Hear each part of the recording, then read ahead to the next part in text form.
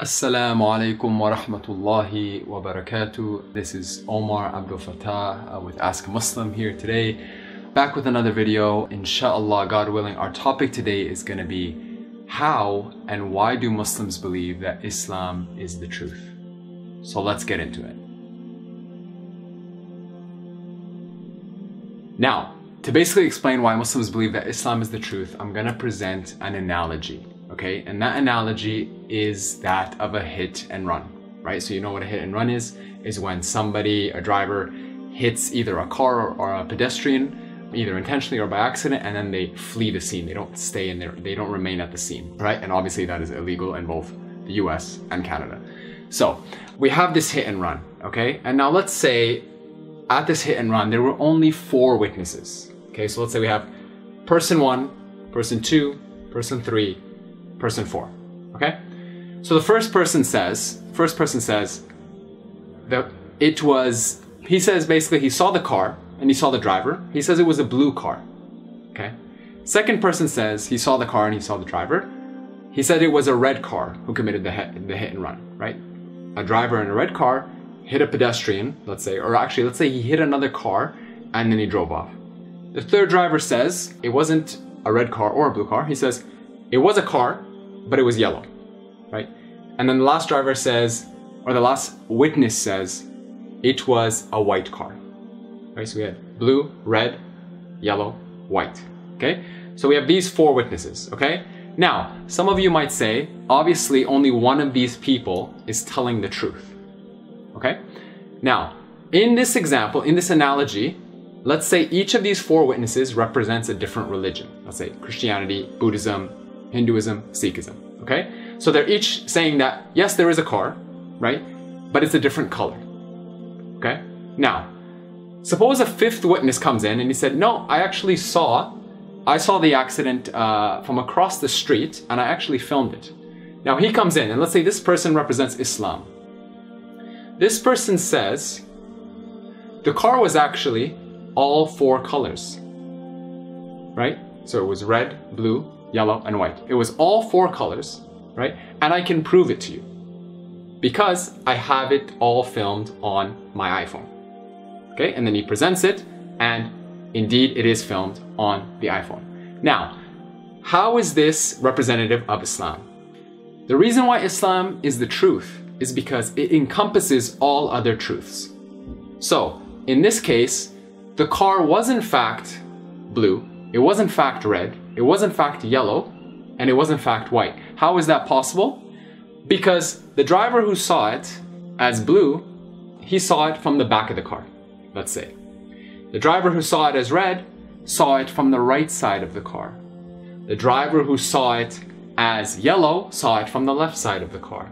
And the driver who saw it as white, who thought it was white, saw it head on. Now let's say this car, and this is obviously very possible, this car was basically like a rainbow, like a clown car, right? So each side of the car had a different color, okay?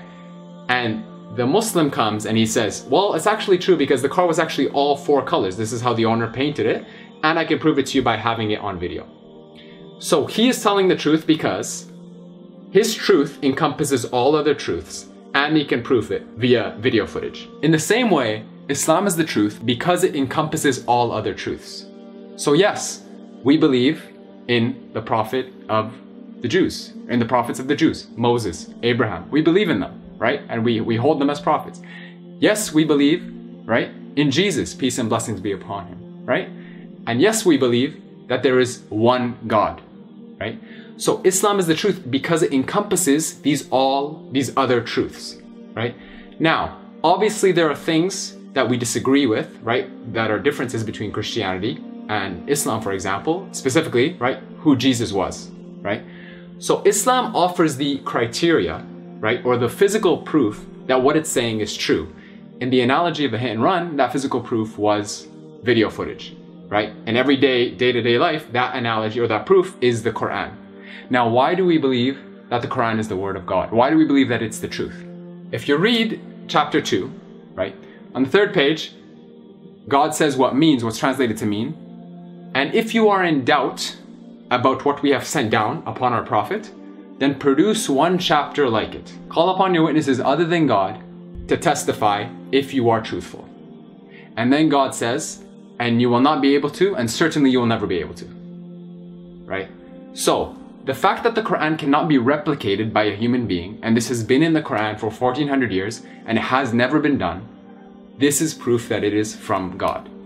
Right? And that is why Muslims believe that Islam is the truth, because the Quran can be held up against critical scrutiny, essentially, against test, against empirical examination. And one thing that I really find profound about it is that it challenges you to a scientific experiment because it's saying if you doubt that this book is from God, then produce a, a, a, chapter like it, right? And obviously, if it was the work of a human being, then any other human being would be able to make it. But it's been 1400 years, it has never been done. So, in summary, the reason why Islam is the truth is because one, it encompasses all other truths, right? Yes, we believe in Jesus. Yes, there's evidence that Jesus was alive, right? And we believe in his miracles. Yes, we believe in Moses and Abraham and all the other prophets. And we believe that a prophet was sent or a messenger was sent to every single uh, group of people, right? Every single group of people. And they all had the same message, right? So, all these different truths that are present in these various religions, right? We believe in. But the Quran serves as the ultimate criterion or that evidence, right? In the analogy of the hit and run, it was the iPhone video footage right? So the Quran serves as that evidence, right? And the reason why we believe that the Quran is that evidence is because it cannot be replicated by a human being. And this is especially profound considering that the Quran was revealed orally over 23 years. You would expect that if it was the work of a human being, you would find within it many, many contradictions. And this is what God says in chapter 4, verse 82. I seek refuge in Allah from the accursed shaitan. أفلا يتدبرون القرآن ولو كان من عند غير الله لوجدوا فيه اختلافا كثيرا Do they not reflect upon the Quran? For if it was from any other than God, they would have found within it many contradictions. So that, in a very, very brief nutshell, is why Islam is the truth. If you have any questions, please ask a Muslim. Peace and blessings be upon you.